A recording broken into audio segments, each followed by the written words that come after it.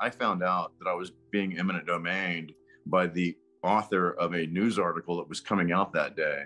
They called me. He called me up in the morning and said, "I'm publishing a uh, an article today from the city of San Antonio saying they're going to vote to eminent domain you next week at the city council meeting." I had eight days and three minutes to talk in front of council to to, to try to save my business and my property and everything that I've been working for the last 15 years.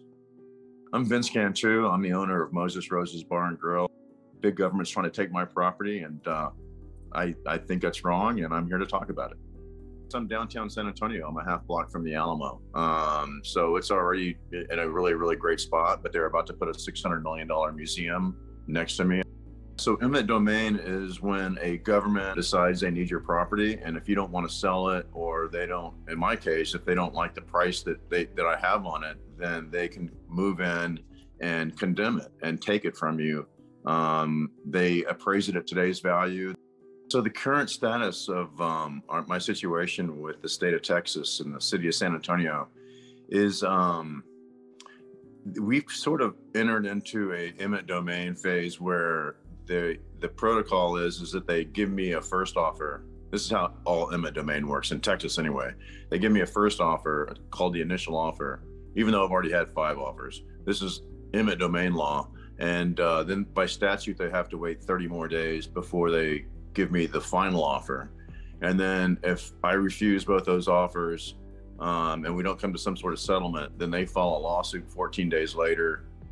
By statute, they can't do it before that. They can do it after that. They cannot do it at all. But I mean, by statute, they have to give it at least 14 days, file, file a lawsuit against me to condemn my property. And then that goes in front of three judges, arbitrators, really, the way it works in Texas. So right now, we're in between the initial offer and the final offer, about halfway in between. Um, I've been working with the state to try to uh, to try to negotiate a price that would, uh, to me, be fair to me and my family. The value of my property is going to skyrocket. This properties all around me are going to skyrocket because it's the biggest attraction they built downtown San Antonio in 100 years, you know, almost. So I want the I want the future value as well as today's value. If I'm going to walk away from it, because to me, it's a uh, it represents a generational property. It's a property that I could run the rest of my life, whether I wanted to work there or not. I could just lease it out um, to a Starbucks or to a franchise that wants to be right there by the Alamo.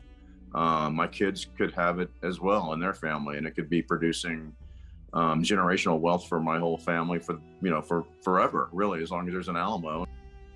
And a lot of people have asked for uh, for you know answer to that. You know, what are you asking for? What's what's the number? And uh, it is awkward because or, nor, you know normally you wouldn't be um, negotiating this in the press or you know uh, openly like this and um, but the state of texas they published the number that i asked for initially they asked me for a number three three and a half years ago um, and i told them i would sell it for $10 million for the property $5 million for the uh, business and that was kind of like my starting point that was where we uh, my wife and i decided we'd start but they never responded to that. And uh, like two years after we gave them that number, the first time they ever responded to it was in the paper saying, "Oh, this guy wants fifteen million dollars. Oh, he wants seventeen million dollars now.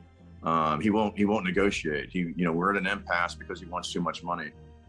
If you combine it with my business as well as my property, because I own both the real estate and the business that's inside of it, um, I would, you know, definitely say that the business is going to be worth around 4 million and the property is going to be worth over 5 million if you look out five and 10 years from now. And um, my neighbor, who doesn't own any property, he leases he leases uh, property from the state. Um, was bought out of his lease. He had five years left on his lease, and the state gave him ten million dollars.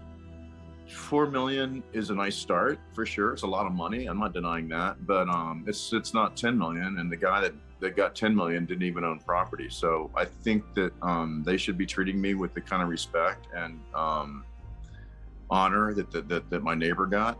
Um, so I'm going to fight for that.